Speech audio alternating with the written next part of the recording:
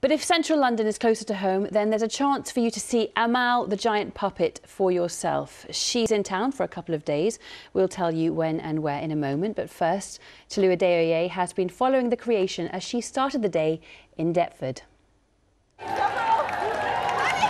A visual spectacle for children and adults alike.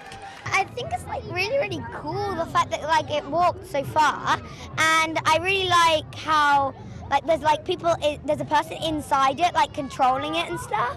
I saw the big woman walking around like this. It's really good. I thought it was exciting. Brings good vibes to the to the market and to the people. It's nice to see them all out supporting everything. But this giant puppet has a greater purpose than simply entertaining. Refugees are welcome here. Ironically named Little Amal, the puppet is the representation of a nine year old Syrian refugee girl.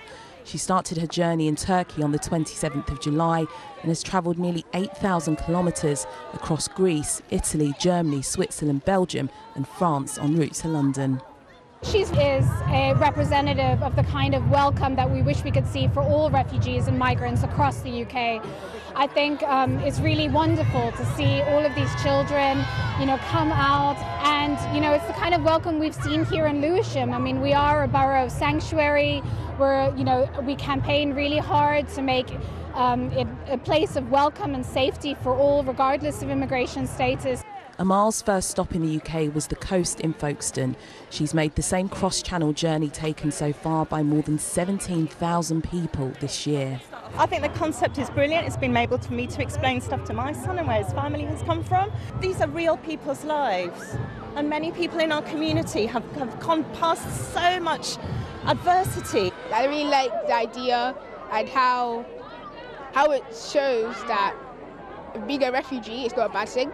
I think it's really inspiring for little children because they get to feel welcome as a refugee. It's emotional because it brings to light, you know, what children, what a lot of people are actually going through. And I hope, you know, the way people have come together for this today, I hope after, you know, they still think about the plight of refugees.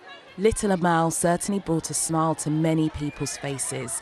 Her lasting legacy, it's hoped, is that more people will show compassion to refugees arriving in the UK.